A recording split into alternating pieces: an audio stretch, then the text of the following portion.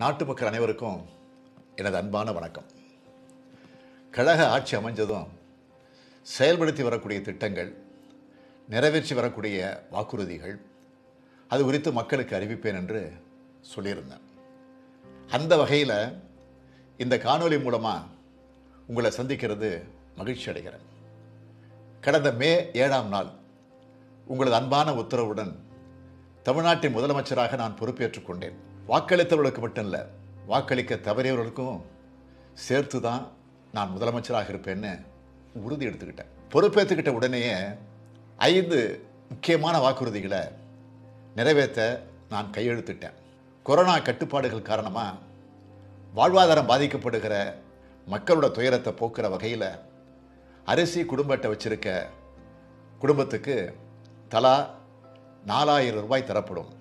ஆவின் பால் விலையை லிட்டர் ஒன்றுக்கு மூன்று ரூபாய் வீதம் குறைச்சி விற்பனை செய்கிறதுக்கான அரசாணையில் இரண்டாவது கையெழுத்து.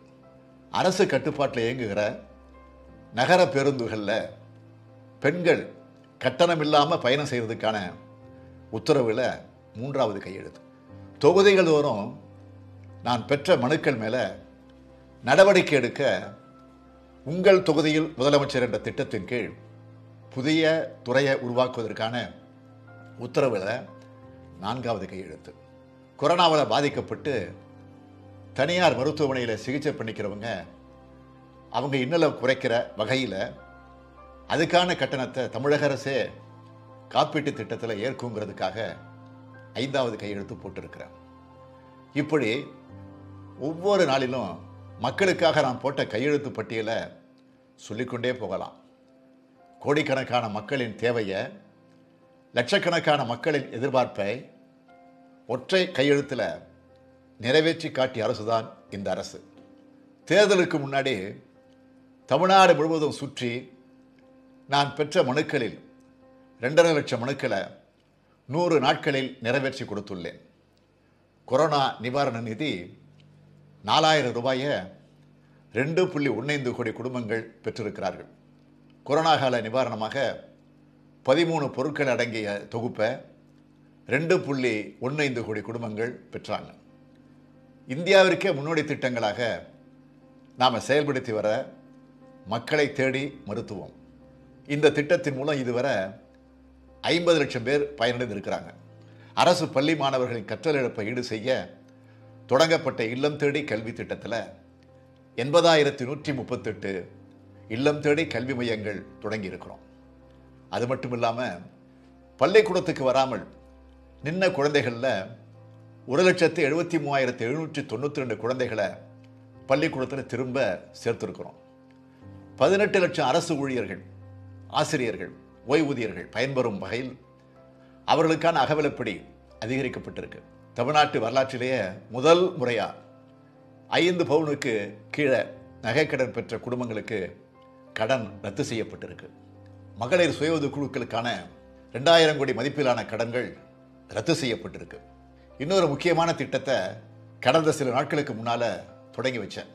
விபத்தில் சிக்கிறவங்க எந்த மாநிலத்தை சார்ந்தவராக இருந்தாலும் எந்த நாட்டுக்காரராக இருந்தாலும் முதல் நாற்பத்தெட்டு மணி நேர சிகிச்சையை அரசே ஏற்றுக்கும் என அறிவித்தோம் அதில் இதுவரை நாலாயிரத்தி நானூற்றி எண்பத்தி ரெண்டு பேர் சிகிச்சை பெற்று பயனடைஞ்சிருக்கிறாங்க. இந்த திட்டத்தினால எவ்வளவு பேர் பயன்பெறத நான் கேட்கும்போது உள்ளபடியே மகிழ்ச்சியாக இருக்கு சில நாட்கள் முன்னால் கோவையில் ஒரு இளைஞருக்கு விபத்து ஏற்பட்டுச்சு. இந்த திட்டத்தின் மூலம் அவருக்கு தனியார் மருத்துவமனையில் இலவசமாக அறுவை சிகிச்சை செய்யப்பட்ட அந்த புகைப்படத்தை நம்ம மக்கள் நல்வாழ்வுத்துறை அமைச்சர் என்கிட்ட காண்பிச்சு அதை பற்றி அவர் சொன்னபோது உண்மையிலே நிகழ்ச்சியாக இருந்துச்சு. தமிழர் திருநாளாம் பொங்கல் திருநாளை முன்னிட்டு இருபத்தோரு பொருட்கள் கொண்ட பொங்கல் பரிசை ரெண்டு புள்ளி ஒன்று ஐந்து கோடி குடும்பங்களுக்கு வழங்கிக்கிட்டு இருக்கிறோம் இவை அனைத்துக்கும் மேலாக என்னோட நெஞ்சுக்கு நெருங்கிய திட்டமான கோடிக்கணக்கான மகளிர் நித்தமும் பயன்பெறக்கூடிய வகையில் அவர்களுக்கு பேருந்துகளில் கட்டணம் இல்லை என்ற மாபெரும் உரிமையை வழங்கியுள்ளோம். மக்கள் கடலில் மாபெரும் மகிழ்ச்சியால் எழும்புவதற்கு இதுதான் காரணம். ஒட்டுமொத்தமாக மாநிலம் முழுவதும் நலத்திட்டங்கள் போய் சேரும் வகையில் செயல்பட்டுள்ளோம். திராவிட முன்னேற்ற கழகத்தின் தேர்தல் அறிக்கையில் சொல்லப்பட்ட வாக்குறுதிகளை மட்டும் இல்லாமல் சொல்லாத வாக்குறுதிகளையும் இந்த அரசு நிறைவேற்றும். ஆளுநர் உரையில் அறுபத்தி ஆறு அறிவிப்புகளை வெளியிட்டு நாற்பத்தொன்பது அரசாணை வெளியிடப்பட்டிருக்கு.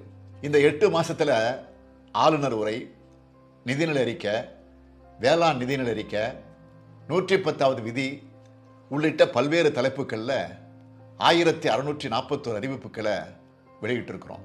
அதில் ஆயிரத்தி இரநூத்தி முப்பத்தெட்டு அறிவிப்புகளுக்கு அரசாணை வெளியிட்டாச்சு. அதாவது வெளியிடப்பட்ட அறிவிப்புகளில் எழுபத்தைந்து விழுக்காட்டை நிறைவேற்றியாச்சு. மீதி இருக்கிற அறிவிப்புகள் புதிய அறிவிப்புகள் நிறைவேற்றப்படுவது குறித்து என்னோட அடுத்த உரையில் தெரிவிப்பேன்.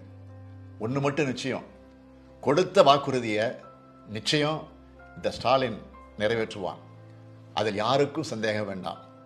தேர்தல் அறிக்கையை புத்தகம் போட்டு நாட்டு மக்களுக்கு வெளிப்படையாக கொடுத்துள்ளோம். அதனால் அதை வைத்து யாரும் பார்த்து கொள்ளலாம். இந்த நேரத்தில் நாட்டு மக்களுக்கு நான் சொல்ல வேண்டிய முக்கியமான ஒரு செய்தி இருக்கு. தேர்தல் அறிக்கையில் சொல்லாத பல திட்டங்களை இந்த ஆட்சியில் செயல்படுத்தி இருக்கிறோம் தமிழ்நாடு சட்டமன்றத்தில் விதி எண் நூற்றி பத்தின் கீழ் நான் அறிவித்த பல்வேறு அறிவிப்புகளை தமிழ்நாடு அரசு சார்பில் புத்தகமாகவே போட்டு வெளியிட்டிருக்கிறோம். அதேபோல் சட்டமன்றத்தின் மானிய கோரிக்கையின் போது அமைச்சர் பெருமக்கள் துறைவாரியாக அறிவித்த அறிவிப்புகளும் ஐநூறு பக்க புத்தகமாக வெளியிடப்பட்டுள்ளது. எனவே எங்கள் செயல்பாடுகளுக்கான ஆதாரம் பொது வெளியில் இருக்கு. அந்த அளவுக்கு வெளிப்படையான நிர்வாகம்தான் இந்த ஸ்டாலினின் விருப்பம். அதுதான் முத்தமிழறிஞர் கலைஞர் எங்களுக்கு சொல்லி தந்தது. எதையும் சும்மா வாய் வார்த்தைக்கு சொல்லி மறந்து விடுபவர்கள் அல்ல நாங்கள். அதை கல்வெட்டு போல மனதில் பதிய வைத்துக்கொண்டு செயல்படுத்துவோம். செயல்படுத்தியும் வருகிறோம். கோப்புக்கள் எப்போதும் எந்த சூழலிலும் தேங்கக்கூடாது என்று நான் அமைச்சராக இருந்தபோது என்னிடம் அடிக்கடி தலைவர் கலைஞர் அவர்கள் சொல்வார்கள். அந்த அடிப்படையில் என்னிடம் வரும் அனைத்து கோப்புகளையும் உடனுக்குடன் முடிவுகளை எடுத்து உத்தரவுகளை போட்டிருக்கிறேன். அதை நான் பெருமையாக கம்பீரமாக நான் சொல்லிக் கொள்கிறேன். மே மாதத்தில் வந்தவை நூற்றி நாற்பத்தி நான்கு கோப்புகள். ஜூன் மாதத்தில் வந்தவை இருநூற்றி இருபது கோப்புகள் ஜூலை மாதத்தில் வந்தவை இருநூற்றி இருபத்தேழு கோப்புகள் ஆகஸ்ட் மாதத்தில் வந்தவை இருநூற்றி நாற்பத்தொரு கோப்புகள் செப்டம்பர் மாதத்தில் வந்தவை நானூற்றி இருபத்தி ரெண்டு கோப்புகள் அக்டோபர் மாதத்தில் வந்தவை நானூற்றி ஐம்பது கோப்புகள் நவம்பர் மாதத்தில் வந்தவை ஐநூற்று ஐம்பத்தொம்போது கோப்புகள் டிசம்பர் மாதத்தில் வந்தவை நானூற்றி இருபது கோப்புகள் இவை அனைத்தையும் உடனுக்குடன் பார்த்து முடிவுகள் எடுத்து விட்டேன் மீதம் இருக்கும் ஒரு சில கோப்புகள். அதுவும் பல்வேறு கட்டங்களில் ஆலோசனையில் இருக்குது. மொத்தமாக சொல்வதாக இருந்தால் பதவியேற்றுக்கொண்ட மே மாதம் முதல் என்னிடம் வந்த ரெண்டாயிரத்தி அறுநூற்றி எண்பத்தி மூணு கோப்புகளில் ரெண்டாயிரத்தி அறுநூற்றி பத்தொன்பது கோப்புகளை பார்வையிட்டு அனைத்திலும் முடிவுகள் எடுத்துள்ளேன். கோப்புகள் துரிதமாக நகர்வதுதான் நல்லாட்சியின் முக்கியமான அடையாளம். அந்த அடையாளத்தின் நல்லரசாக இந்த அரசு செயல்பட்டு வருது. நான் மட்டும் இல்லை அமைச்சர்கள் அனைவரையும் அவர்களிடம் வரும் கோப்புக்களை உடனுக்குடன் முடிவெடுத்து அறிவிப்புகளை செய்ய உத்தரவிட்டுள்ள என்பது மட்டுமல்ல அதனை கண்காணித்து வருபவன் நான். கோப்புக்கள் தேங்காத அரசாக இந்த அரசை நடத்தி காட்டி வருகிறேன். கோட்டையில் உட்கார்ந்து உத்தரவு முதலமைச்சர் அல்ல நான். மக்களோட மக்களாக இருந்து அவர்கள் சிந்தனைகளை உணர்ந்து அறிந்து செயல்படுத்தி காட்டும் முதலமைச்சராக செயல்பட்டு வருகிறேன். கொரோனா காலமா? கொரோனா வார்டுக்குள் சென்று நோயாளிகளை கவனித்தேன். மழை வெள்ளமா? இடுப்பளவு தண்ணீரிலும் போய் மக்களை சந்தித்தேன். காஞ்சிபுரத்திலும் கன்னியாகுமரியிலும் எனது கால்கள் பயணித்தது. திருவள்ளூரிலும் திருப்பூரிலும் நான் வலம் வந்தேன். தஞ்சையிலும் திருச்சியிலும் பல்லாயிரக்கணக்கான மக்களுக்கு நலத்திட்ட உதவிகளை கொடுத்துட்டு இரவில் சென்னைக்கு திரும்பிய நான் கொட்டும் மழையில் சென்னை இருப்பதைக் கண்டு அன்றைய நாள் நள்ளிரவு முழுக்க பல்வேறு பகுதிகளுக்கும் சென்று பராமரிப்பு பணிகளை முடுக்கிவிட்டு நள்ளிரவு ரெண்டு மணிக்குத்தான் நான் வீடு திரும்பினேன். மறுநாள் காலையில் மீண்டும் அனைத்து பகுதிகளையும் பார்வையிடச் சென்றேன். கொரோனா தடுப்பூசியா? மக்கள் தடுப்பூசி போடும் இடத்துக்கே நானும் போய் பார்க்கிறேன். ரேஷன் கடையில் பொருள்கள் வாங்குவதில் பிரச்சனையா? நானே நேரில் போய் ஆய்வு செய்கிறேன். காவல் நிலையத்தில் மக்கள் குறை தீர்க்கப்படுகிறதா என நானே காவல் நிலையத்திற்கு போய் பார்வையிடுகிறேன். என்னை இப்படித்தான் பழக்கியிருக்கிறார் தமிழின தலைவர் கலைஞர் அவர்கள். மக்களோடு வாழ் என்று சொன்னார் பேரறிஞர் அண்ணா. அப்படித்தான் வாழ்ந்து வருகிறேன். மக்களின் நேற்றைய தேவையை இன்று நிறைவேற்றி தருபவனாக இருக்கிறேன்.